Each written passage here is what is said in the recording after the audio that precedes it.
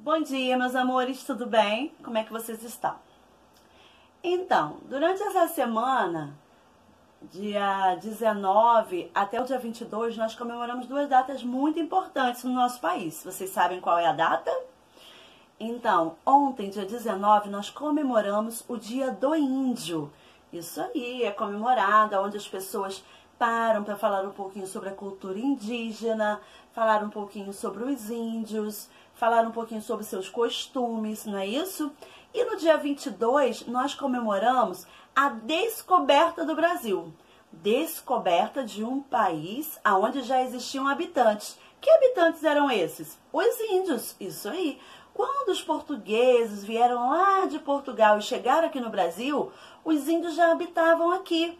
Então, eles acharam o país e assim colocaram o nome dele de Brasil. E quem já habitava aqui? Os índios. Isso aí.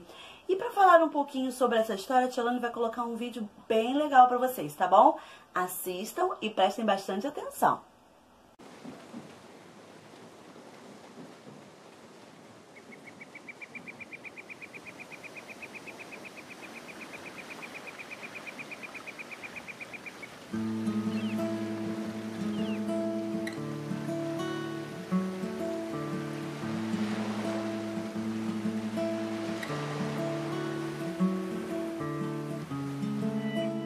Espantado viu-se indígena ao chegar das caravelas. Era Cabral, achando que aqui eram as Índias. E sem querer, querendo, no Manau ele atracou. Abaixou as velas e aqui se apresentou. Olá, eu sou Cabral. Você quem é? Sou indígena aqui, sou morador. Caço vivo nessa terra verdejante, cheia de cor. E assim se fez um laço, um passo ao futuro, adentrando as matas, desbravando seus costumes tupi-guarani, tupinambá, tupiniquim, caeté, potiguar. Todos falantes da língua tupi mostraram a Cabral a cultura daqui. Homens, mulheres, cada qual com função, pesca e caça, cozinha, artesão, muita cultura, gente a trabalhar. Já existiam antes de Cabral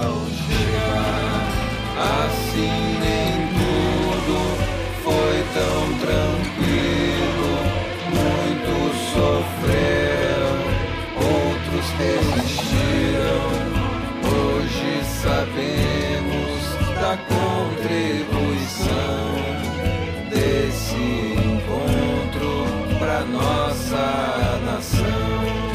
E assim, quando Cabral aqui chegou, viu as maravilhas e belezas dessa terra, o grande povo que aqui havia. Porém, nada ficou como era. Muito se perdeu com as guerras, as armas de fogo e as doenças trazidas pelo homem branco em suas vindas e idas, e que o índio muitas vezes não suportou. Mas hoje não seríamos esse grande povo sem os nossos antepassados indígenas e toda a imensa cultura que herdamos e carregamos em nossa fala, nossas casas e em toda a nossa vida.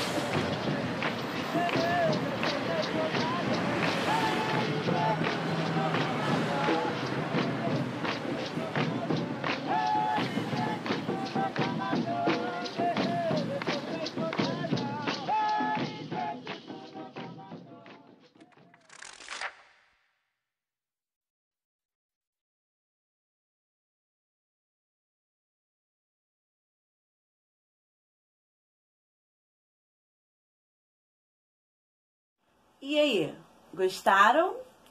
Então, falamos um pouco, né, sobre como que os portugueses chegaram, qual foi a reação dos índios, e isso é bem legal.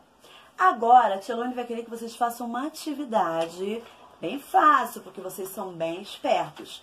No caderno de vocês, pode ser no caderninho de português, vocês vão é, pegar essas palavrinhas que a Tilane vai colocar aqui no vídeo, ó. Vão pausar e copiar esse textinho aí. Copiar o comando. Vocês vão separar as sílabas. É, como é que separa as sílabas? Lembra quando a Tilane faz o ditadinho, a Tilane não fala pausadamente?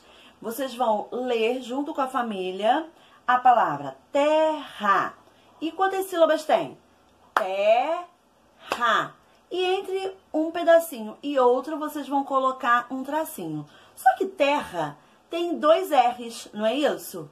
Quando aparece duas letrinhas iguais, tipo RR, SS, durante na palavra, no meio, elas ficam juntinhas, mas quando a gente separa as sílabas, elas se soltam. Vai ficar terra. Entenderam?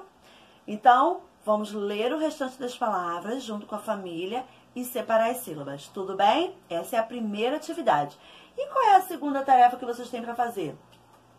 Vocês vão ou ilustrar ou falar um pouquinho sobre os índios, sobre o descobrimento, sobre como vocês entenderam. Se quiserem se pintar como índio, vocês podem se pintar. Vocês vão usar a imaginação de vocês. Se quiserem fazer um desenho bem legal, falando um pouquinho sobre os índios, falando um pouquinho sobre os costumes deles, também vou amar. Se quiser também falar um pouquinho sobre o descobrimento, vai ser joia.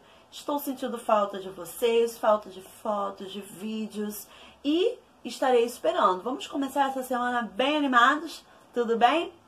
Um beijo e até!